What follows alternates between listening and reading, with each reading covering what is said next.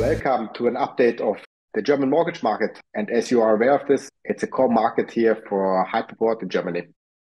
Two of our largest subsidiaries are highly exposed to the mortgage market, or you can say we are dominating in a certain way the German mortgage market.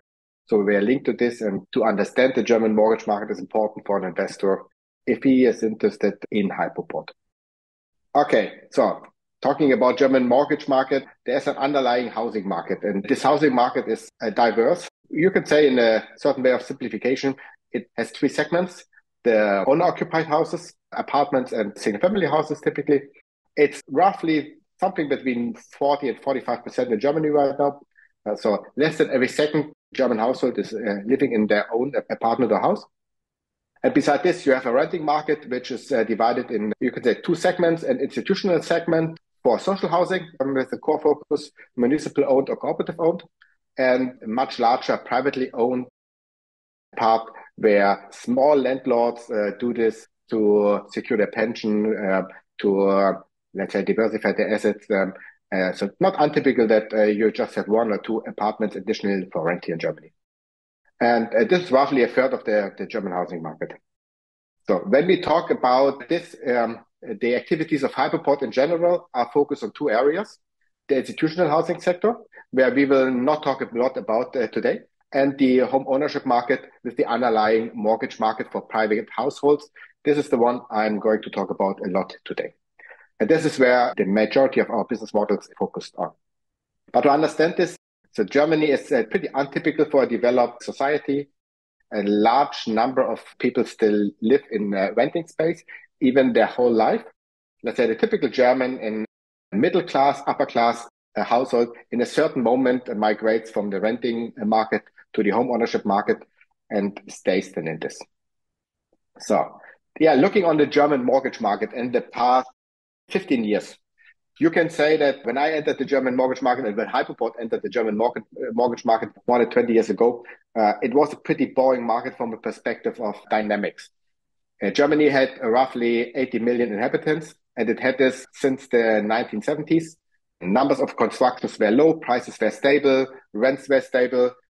If you wanted to move, you could choose pretty freely, even in uh, metropolitan areas, what you are able to afford, and you could get what you want. In this market, the mortgage market was more or less flat. You see this something around 50 billion uh, per quarter was a usual volume. If you wanted to grow in this um, market, you had to take market share and Hypoport was taking market share in this market for a long time. This market changed in 2011 because of the European integration. The free labor movement uh, within the European Union made it possible that people from the south and the east of Europe moved uh, with their family to uh, Germany to uh, occupy here the uh, higher paid jobs available in the German industry. And with the robust industry, thanks to Agenda 2010, we had the growing number of, of workforce which we needed. And so a constant inflow of uh, net migration to Germany since this moment. So for the last 12 years, you can say uh, Germany had uh, a couple of hundred thousand people moving to Germany net every year. So, uh, and increasing the number of inhabitants from this 80 million, where we stayed for a very long time, to right now 84 million people here in Germany. So a plus of 4 million people 2.5 million households, you can say, uh, they added. In a short period, until you can say something around 2014, this additional demand from net migration led only to a reduction in uh, the vacant apartments. First in the metropolitan areas, later as well in the suburbs. And starting then in roughly 2014, we saw a sharp increase in uh, first rents and later in house prices with a very strong dynamic, you can say over a period of uh, since 2014, eight years, house prices roughly doubled here in average in Germany. So this is a dynamic uh, which, let's say, we are not supported by the uh, mortgage market, but helped the mortgage market to grow. So other than in, in the Anglo-Saxon markets where the price uh, development of the real estate market was driven by availability of mortgages, here it was the other way around because of the increase in prices. Um, in the real estate market, you had to borrow more mortgage volume uh, to take part. And because of this, this market went up to roughly a 70 billion market uh, over a period of um, eight years. it's important to understand the difference to, uh, to the Anglo-Saxon uh, reality, uh, which we saw especially pre-financial crisis. So the let's say the German banks were, let's say, remembered the financial crisis. The German regulator remembered the financial crisis. So during this period of expanding mortgage market, there were a lot of noise from the regulator to uh, yeah, be focused on risk when you are underwriting mortgages here in, in Germany. So the, the risk profile of German mortgages went down during this period, as went the number of transactions. In this period of eight years, uh, a million households less than previously uh, acquired a new home. Germans didn't trust in this uh, price development, so um, they're surprised by the dynamics and postponed their decisions so that you can say the mortgage market, the dynamic in the mortgage market was m- much less than the price dynamic in the real estate market. So, so the price dynamic was funded by demand and equity and not like in, let's say, pre-financial crisis uh, environment that the mortgage market were inflating the, the property prices. So this is important to understand when you want to understand as well what's going on right now in the German uh, mortgage market. And when I say right now, since third quarter here, the last two, three quarters, we saw the sharpest drop in the German mortgage market historically recorded from a short peak in the first quarter of this year, thanks to, let's say, a, a sell-off during a sharp increase of, uh, of interest rate. We dropped uh, to a level below what we saw in the market when we were 80 million people and didn't see any net migration and had uh, roughly a million uh, units uh, vacant. So we are down to, you can say, more or less a 40 billion mortgage market per quarter here in Germany now. And this is, from a German perspective, it, it was not expectable and it was, uh, it's, it is still feels uh, surreal to be in this. You can describe this best that uh, there is a deadlock between potential buyers and sellers in the current situation. Prices didn't drop sharp during this period. We saw a peak in prices in May last year since May last year until January this year, prices dropped um, a good 10% in average um, here in Germany, while um, incomes went up a couple of percent uh, parallel. But the sharp increase in uh, the mortgage rate would have uh, needed a drop in uh, roughly 30, 35% to compensate this. So this didn't happen. Uh, because in the end um, uh, of the source of the price development before, the huge demand. And potential sellers see this huge demand and just wait for the the, the right buyer to come, while buyers on the other side um, have the challenge to finance what they dreamed of, what they could acquire. Uh, one drill down deeper. I just talked about the, the purchase area. Uh, you see here uh, trends in the let's say four uh, core um, mortgage areas. So we talked about purchase.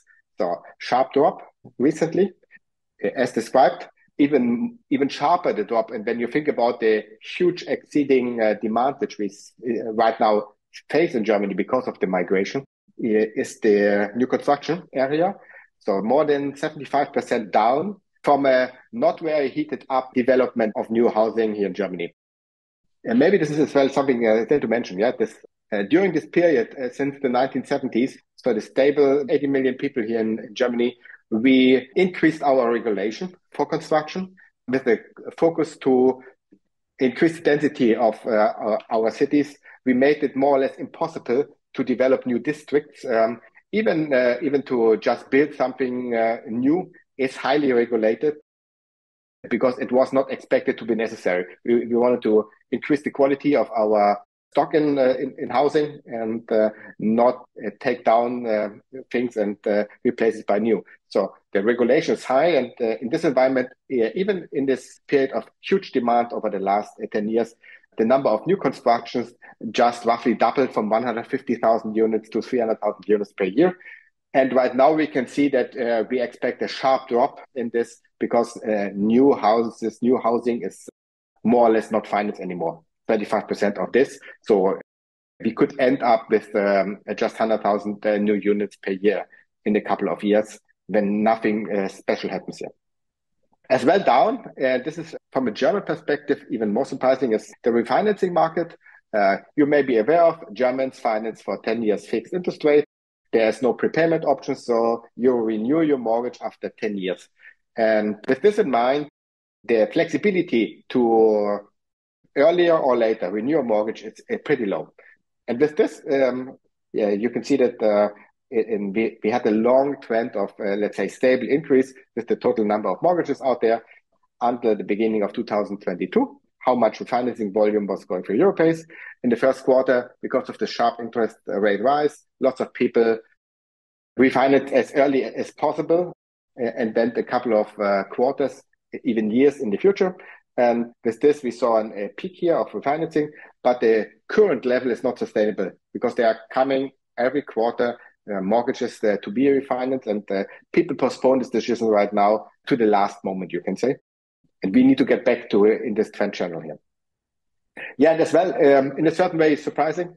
Modernization is down as well in an environment where, especially environmental uh, regulation and the energy efficiency increase in uh, homes is uh, heavily uh, uh, demanded uh, by politics, that this interest rate rise um, is this intense as well on the modernization side is in a certain level a surprise still. It needs to change. Um, just to give you an orientation, to meet our 2045 energy efficiency goals here in Germany, we need 20 billion per quarter investments in uh, our housing stock, um, which is home occupied. So from this where we are to this where we need to come, uh, it's a long way to go in, in uh, financing. And uh, so the, the current level is not sustainable if we even want to get close to our goal. Saying this and uh, switching a little bit from the perspective, what happened to the perspective, how this market uh, is going forward. it's important to understand that Germans acquire their first home and typically their last home exactly once in their lifetime. And they do this because of a trigger event, not because of uh, interest rate environments, inflation, or something else. The core reason to acquire a home is that you want to build a nest for your family, so often uh, linked to the planning or the arrival of children. This is the moment where the typical German household switches from the renting market to the home ownership market. And so for, for buying a property or for building a property, uh, children are the core reason. Sometimes later you want to split or because of a long movement within Germany from one municipal area to another, you have to buy again. You, you, you're not going back to the renting market, you, you then buy again. So, but this is from the number of trigger transactions already far behind the children's trigger.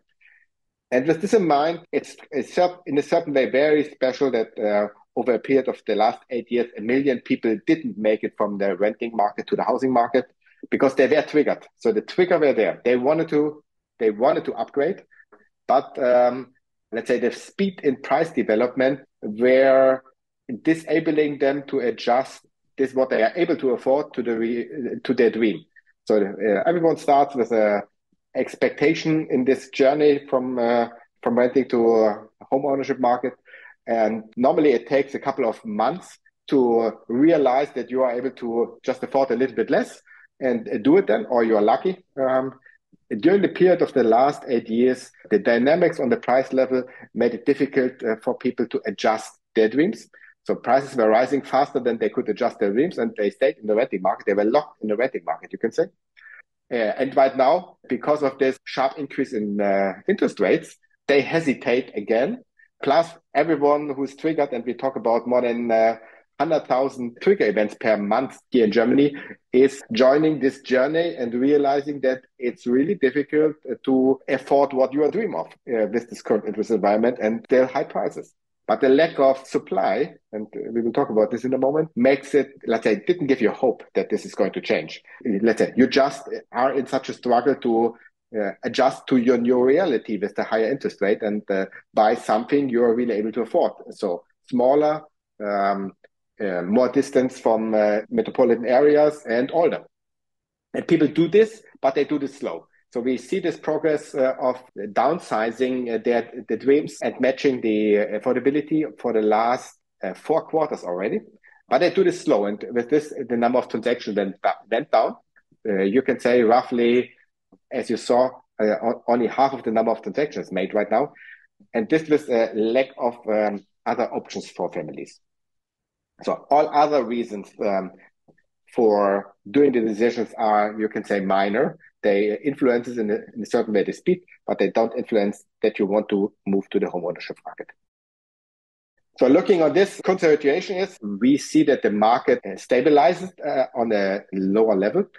All three months of the last quarter were already stable. And this year we saw light positive trend from this level. So we, we stay on this button on the lower level and uh, market is going to recover from here. The core question is for everyone who is considering investing in Hypoport or is invested in Hypoport is how long this may take we see a lot of positive trends in the market. We see that the price dynamic slowed down. So we see a stability in prices now here in Germany. February prices were exactly on January level, 0.3% higher than so in, uh, statistically not relevant. The, the decline of the prices slowed down to a level where they are just staying flat. So waiting is not an incentive anymore and will not close the gap between your dream and what you are able to afford. On the other side, income level goes up. Um, right now, uh, unions fight for a double digit um, increase in uh, salaries here in Germany. And with this, um, let's say, an, an, an positive trend is there in, uh, in uh, on the income side. The seller side uh, gets as well more certain about uh, being able to sell their properties. They reduce what they are willing to give discounts. Um, uh, on the portals when you monitor this.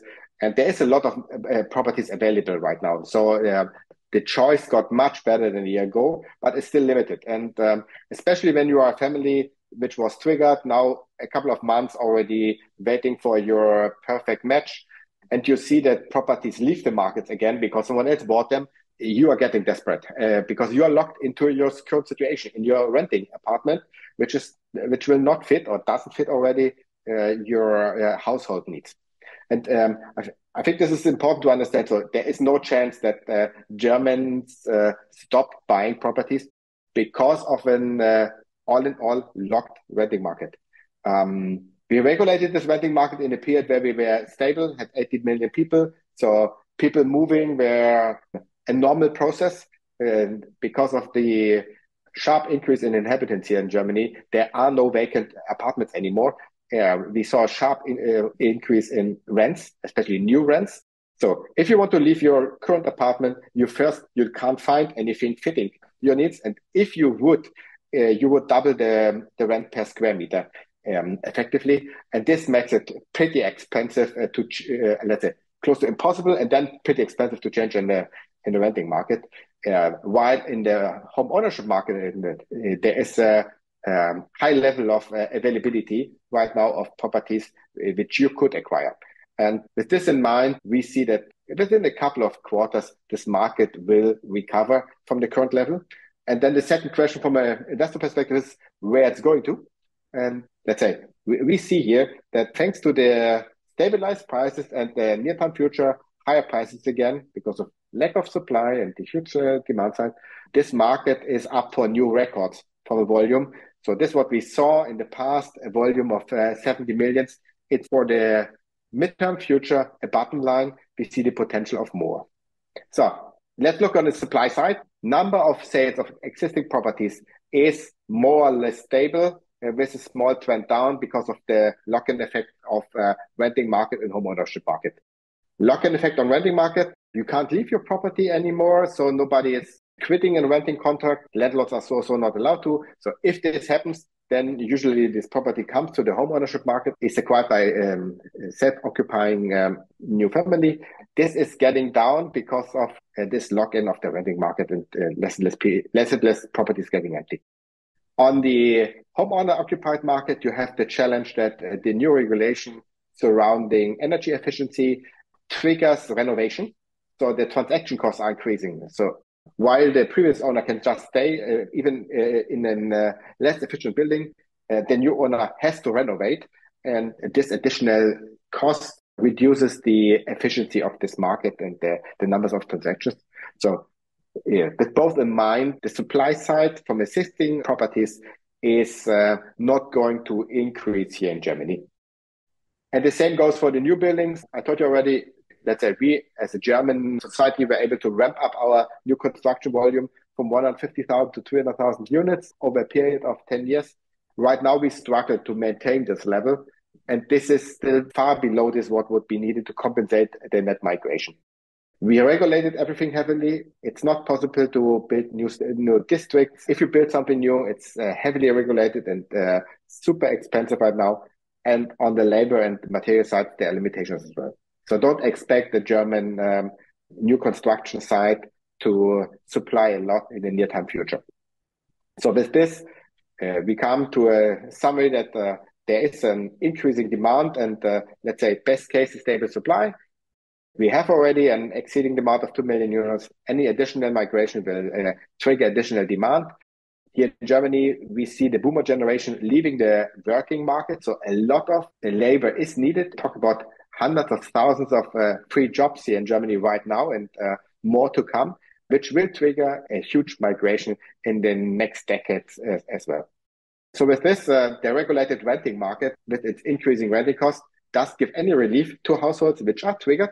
The property prices will go up, but will be the only solution for a, a triggered family to uh, to solve their changing housing needs. And so with this, uh, we expect an increased number of transaction volume. So more or less a slight increase in uh, numbers of transactions, and from the current level, uh, a steady increase not as fast as it was in the previous decade. So not a doubling in the next 10 years of uh, German home ownership prices, but then a slight increase um, of prices as well in the, in the next 10 years. And with this, the mortgage uh, volume, which just because of this market as it is right now, and as it is predictable, of uh, somewhere between 75 and 100 billion, including a lot of investments needed to meet our energy efficiency goals.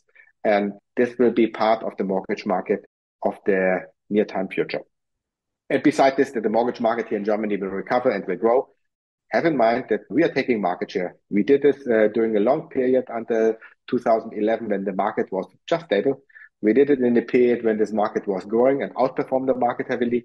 And uh, even right now, we are taking market share in the declining market environment.